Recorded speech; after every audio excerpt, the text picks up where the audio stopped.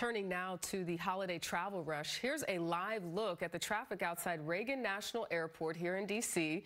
as travelers make a last minute dash out of town ahead of Thanksgiving. For drivers, AAA expects today will be the busiest day of the week. Here's CBS's Kris Van Cleave. The Thanksgiving travel rush slows to a last minute crawl. Brake lights stretched for miles in Los Angeles last night as many of the nearly 49 million Americans expected to drive this year hit the road coast to coast. My number one priority is skipping traffic. Emily and Andrew Quay, with little Cameron and Penny, the golden retriever, left Brooklyn midday heading for Washington. Were you worried the drive was going to be apocalyptic? Yes, or? very worried. Worried with a baby and a dog. Um, so far, both have napped halfway through. We're hoping the second half of the leg goes smoothly.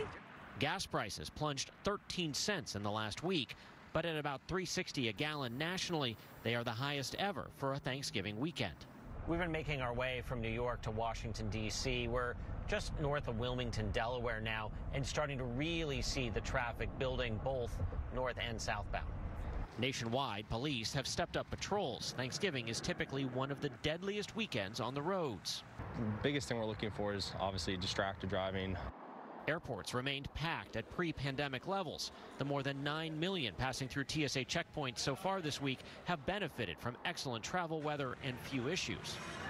Amtrak expects this will be its busiest week of the year on the rails. Flights were kind of outrageous, so it's definitely more cost effective than flying at this point. Thousands opted not to drive or fly, instead boarding the newest Carnival cruise ship, the Celebration, for a sold-out six-day Caribbean holiday. Carnival stocked its ships with 36,000 pounds of turkey. Nothing more thankful than being on a Carnival ship uh, and having a great time. And the family doesn't care.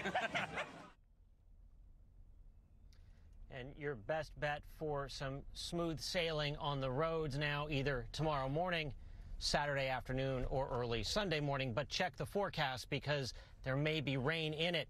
Jericka, I'm happy to tell you we have finally made it back to Washington, D.C. tonight safe and sound. Kris Van Cleave, thank you.